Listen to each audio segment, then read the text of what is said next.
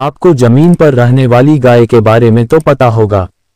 मगर कभी आपने समुंदर के अंदर रहने वाली गाय देखी है, इसे समुद्री गाय के नाम से जाना जाता है। विज्ञान की भाषा में इसे मैनाटी, मैनाटीज कहते हैं। देखने में ये जीव समुद्री सील की तरह लगते हैं। इनकी गर्दन पूरे शरीर के मुकाबले छोटी होती है। ये समुद्र की सतह पर उगने वाले घास को खाकर ज़िंदा रहते हैं। एक रिपोर्ट के अनुसार, कई साल पहले समुद्री गाय धरती पर रहा करते थे।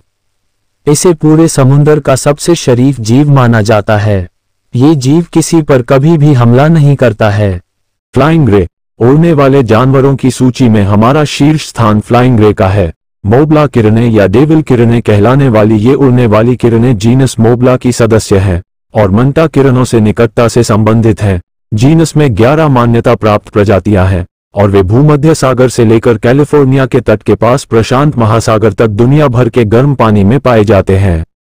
उड़ने वाली मछली, एक सोकोटिडे एक परिवार है, जिसमें उड़ने वाली मछलियों की 40 से अधिक विभिन्न प्रजातियाँ शामिल हैं।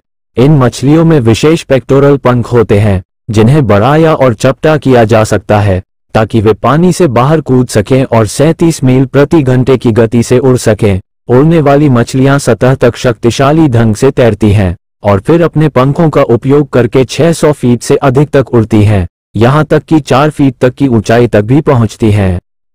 वालिस का उड़ने वाला मेढक, वालिस का उड़ने वाला मेढक, राकोफोरस निग्रोपालमेट्स, उड़ने वाले मेंढकों की कई प्रजातियों का सबसे बड़ा और सबसे प्रसिद्ध नमूना है, मलेशिया और बोर्नियो के उष्णकटिबंधीय जंगलों के मूल निवासी है। वालिस का उड़ने वाला मेढक अपना अधिकांश समय पेड़ों पर बिताता है। और केवल अंडे देने या सहवास करने के लिए उतरती है। खतरे की स्थिति में या कीड़ों का शिकार करने पर शाखाओं से कूदने के बाद वे 50 फीट तक की दूरी तक सरकने के लिए अपने पैरों के बीच की जाली का उपयोग करते हैं।